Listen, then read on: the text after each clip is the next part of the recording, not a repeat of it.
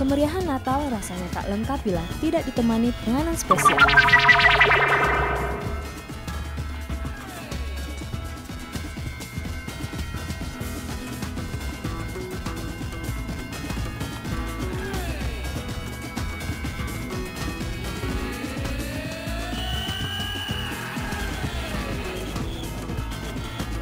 Kemeriahan Natal rasanya tak lengkap bila tidak ditemani penganan spesial.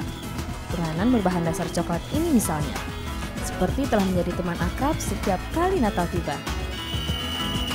Nah, coba perhatikan bentuk dan warna kue-kue ini.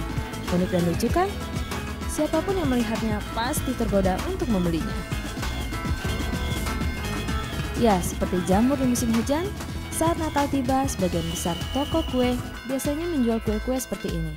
Toko yang terletak di bilangan menteng ini misalnya. Beraneka macam kue berbahan dasar coklat dijual dengan bentuk, warna, dan hiasan bertema Natal.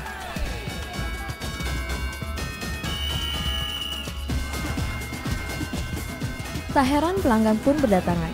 Bentuknya yang cantik, sungguh menggiurkan. Cocok untuk dihidangkan di rumah saat Natal dan cantik untuk diberikan kepada kerabat atau teman.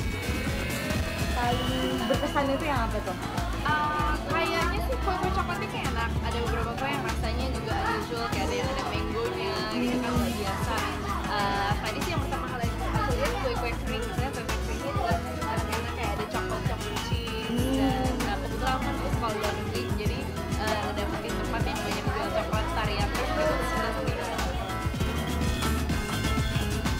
Beraneka penganan dari coklat ini telah menjadi favorit untuk hidangan Natal.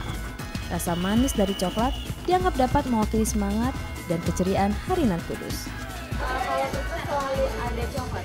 always Kenapa Jadi, ya karena ciri khas coklat itu kalau di, di kita kan sering kali buat buat orang-orang buat gift apa lebih lebih apa maksudnya eksklusif lah ya dibandingin dengan kue-kue yang dibuat-buat di parcel atau apa terus kenikmatan coklat buat orang-orang juga mereka menikmati sendiri gitu Saya pun tertarik untuk mengetahui proses pembuatannya. Untungnya, dengan senang hati mereka mengajak saya untuk menuju dapur tempat pembuatan aneka penganan coklat dan cantik itu. Ternyata permen dan kue-kue ini dibuat di sebuah dapur di kawasan Tangerang terlebih dahulu, baru kemudian dikirimkan untuk dijual di toko. Akhirnya saya pun diajak untuk membuat lollipop favorit saya. Ternyata untuk membuatnya gampang-gampang susah.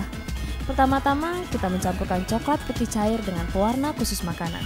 Setelah itu, masing-masing warna dimasukkan ke dalam plastik dan kemudian digunting ujungnya.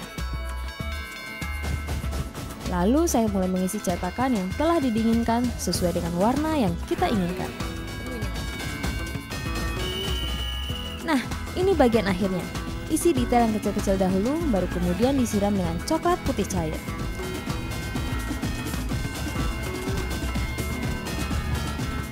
Setelah didinginkan, jadilah coklat lollipop Christmas yang siap untuk dihadiahkan.